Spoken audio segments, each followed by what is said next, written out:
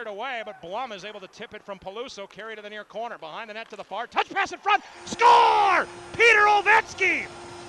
Great feed out of the far corner by Colin Wilson. Peter Olvecky, with his fourth of the year. He has 11 points on the season. Seven of them are in games against the Peoria Rivermen.